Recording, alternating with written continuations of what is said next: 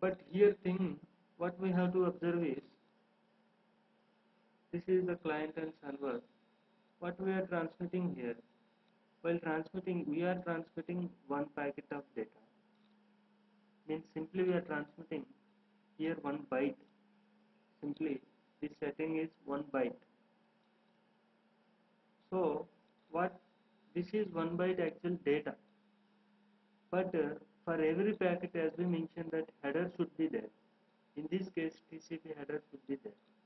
Assume that TCP header is 20 bytes long.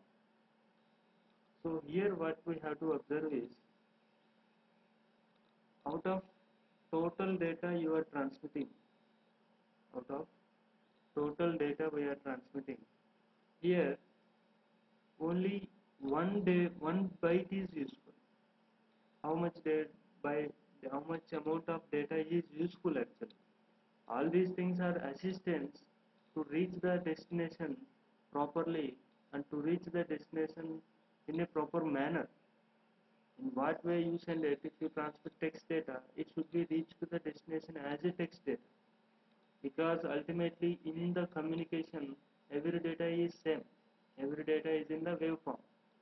So when it reaches to the destination it should be in the same format it should be reachable. It should be reached to the destination. So for that purpose all these headers we are adding. So in that case headers is not actual data. The data which is in data part that is right thing. So that is useful thing. Now here out of total 21 bytes of data 21 bytes of transmitted um, this uh, packet only one byte is useful. So now you see how much amount of data actually useful so this situation we are calling as silly window syndrome.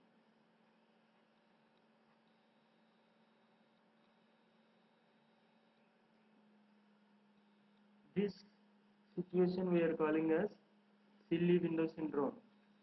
Actually for there are three reasons for silly window syndrome. There are three reasons are there for this silly window syndrome to happen.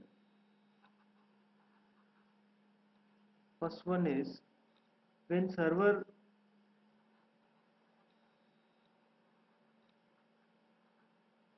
when server announces its window its window is window space. Its window space is empty. Okay. This is simply like in earlier case what we see. Whenever server space is empty in the window in receiver side so obviously you are going to set the window size as 1 in the sender side. So this is the one of the reason whatever we seen earlier. And in the second one is if suppose client is able to transmit only one byte in this case also there may be chance. Here client is able to transfer only one byte. Then next one is when server consumes only one one byte at a time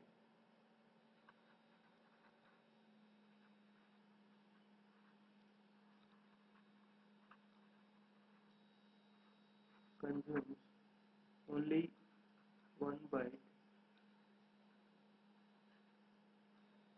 at a time. If suppose server is consuming only one byte, accordingly you have to set the receiver size, that window size. So in these three cases, there may be chance of happening silly window syndrome. Hope you got. At the end any reason we we are going to set receive uh, sender's window size as 1 ultimately.